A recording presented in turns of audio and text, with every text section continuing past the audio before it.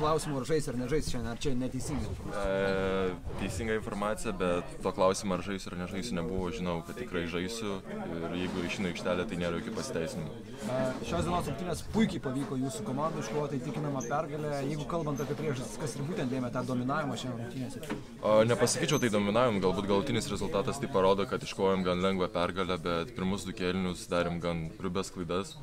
Aš asmeniškai išėjau į, į varžybas nepasiruošęs, padariau dvi klaidas, treneris pasodino šiek tiek atšalau ir išėjau su tinkama koncentracija tada.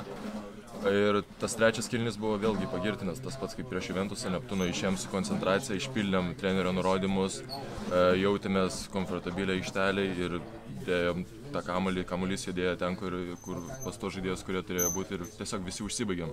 Atrodo, ir gynyboje buvo labai geri akcentai, ta ypatingai gera pagalba ginantis nuo Neptūno komandos aukštų. Kaip tu gali įvertinti savo komandos darbą ginantis šiandien?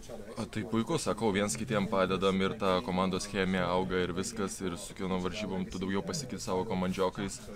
Ir čia yra tas sezono, tarp, sezono metas, kai, kai, kai tas visas žaidimas turi kilti dar aukštesnį lygį, tai manau, mums tai puikiai sekasi. Kas padeda išlaikyti tą gerą koncentraciją, kai ir pats minėjote, buvo situacija su Juventusu, kai nepalūžot, šiandien taip pat Neptūnas iki šešių buvo prieartėjęs, bet jūs 23 spurtavot ir viską nuveikėt ir sutvarkėt. Tai kas padeda išlaikyti visą? Manau, komandos charakteris, kaip ir, kaip ir treneris minėjo prieš kelias varžybas, turim tą tvirtą komandos charakterį ir, ir nenuleidžiam rankų niekada.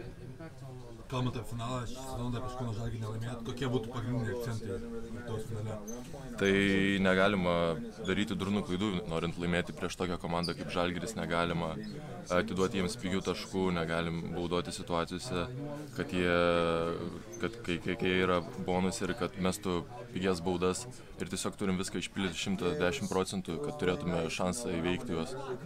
Marekai, tas praėjęs sezonas tau dėl traumos buvo sujauktas, šiame sezone išnaudoji tas gautas minutės, kiek jau tau pačiam yra lengviau vyrų krepšinėje stumdytis su tais pripažintais varžovo priekinės linijos krepšininkais. Tiesiog jaučiuosi kiekvienom varžybom labiau užtikrintas savo jėgomis ir, ir viskas ir stengiuosi pamiršti tą sezoną, kuris buvo praeitas ir aš naudoju tai kaip motivaciją, kadangi dauguma jų iš visų žurnalistų jau nurašė mane.